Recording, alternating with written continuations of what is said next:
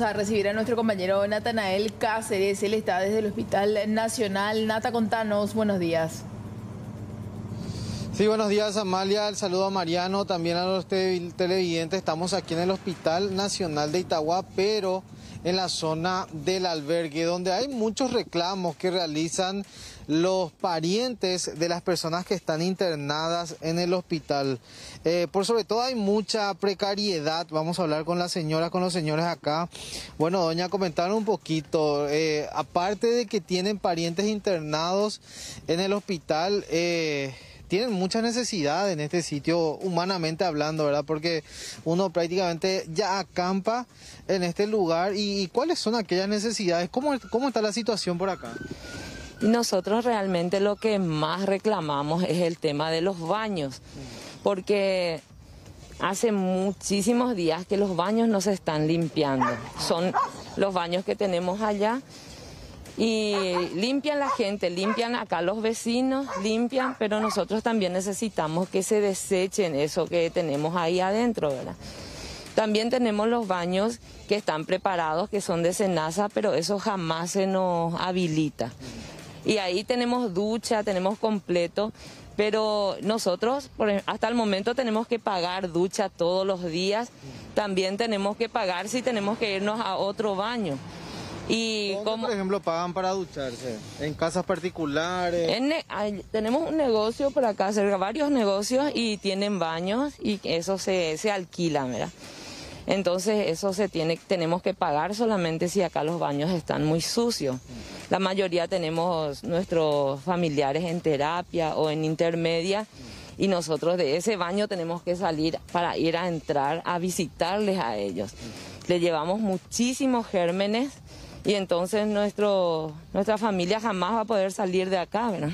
Ese contenedor que está al, fondo, el azul, eh, le voy a pedir que me acompañen un poquitito para poder mostrar nada más. Ese contenedor que está ya, por ejemplo, nunca fue habilitado, señor. Eh, no, no se puede hacer uso de eso que vemos ahí.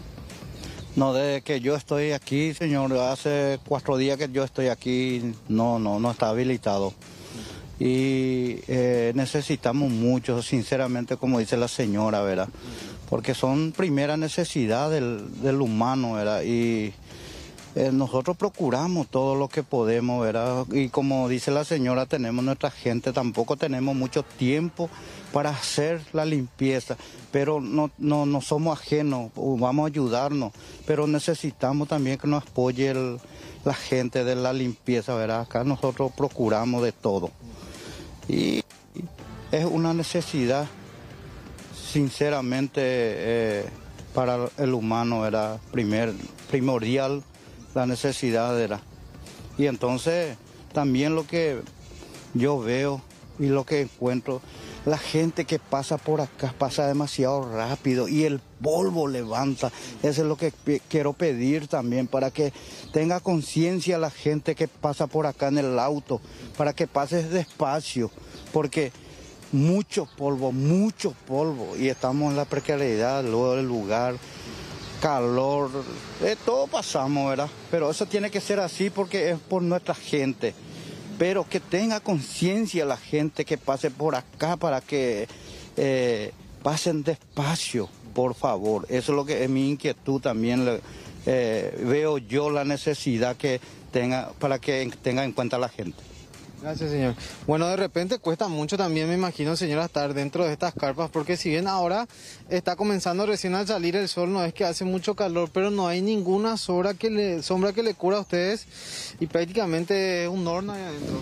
Es un horno realmente y como ustedes también pudieron ver ya, los vehículos también buscan eh, sombra donde estacionar, entonces nosotros ya nos quedamos sin sombra. Y allá, la parte del hospital, no nos podemos ir porque de ahí nos echan todo. Entonces nosotros tenemos que rebuscarnos hacia acá y tenemos muy poca sombra, realmente muy poca sombra y más todavía necesitamos en ese caso el baño porque acá hace un calor de 50 grados. Entonces nosotros tenemos que hidratarnos también, tomar mucha agua, tereré todo el tiempo y no solo una vez se van nos vamos al baño, ¿verdad? Y también otra cosa que lo que me estaba diciendo el muchacho que queríamos pedir es que se limpie todo, porque Eh, demasiado bichos tenemos, muchos bichos. Los mosquitos que tal a la tarde. la Muchísimo, mañanita. muchísimo mosquito. Y a ver si se puede fumigar o qué por el tema de las arañas y las moscas también que nos avanzan todo. Bueno, muchas gracias, señora. Y bueno, Mariano y Amalia, ahí escuchamos los reclamos, ¿verdad? Ustedes se fijarán, las carpas son un poquito amplias, ¿verdad? Pero el calor que hace al mediodía cuando el sol prácticamente irradia eh, con todo, imagínense, uno no puede estar dentro de las carpas por lo menos todo el día, salen afuera, buscan alguna sombra, la mayoría también ya es eh, ocupada por los automovilistas que vienen al hospital, tal vez por los propios funcionarios.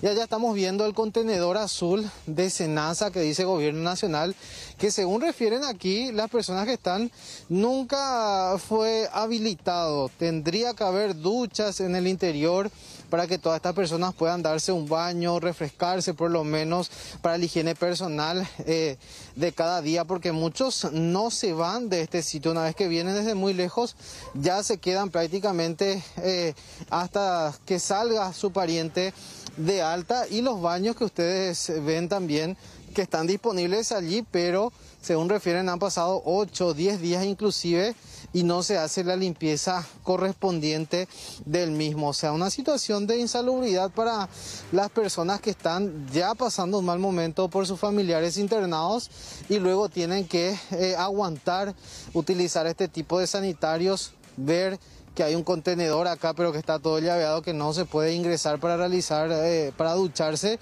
y después también hay que sumarle el calor, el pastizal que está un poquito largo y la cantidad de mosquitos y de alimaña también que eso trae consigo porque ellos están ahí en, la- en las carpas en pleno pasto Sí. y evidentemente hay muchos insectos, arañas, alacranes, todo tipo de esto que, que va saliendo también por las altas eh, temperaturas y pone en riesgo a las personas que están acá. Nata, podemos acercarnos hasta ese contenedor nada más para ir cerrando y mostrar que está realmente cerrado. Sí, vamos a acercarnos. Este es el contenedor que me dijo que está todo cerrado. Que en Vamos teoría ahí tenés ducha y de todo, ¿verdad? Y según decían, tiene todo ducha. Esto está cerrado para que vean que no...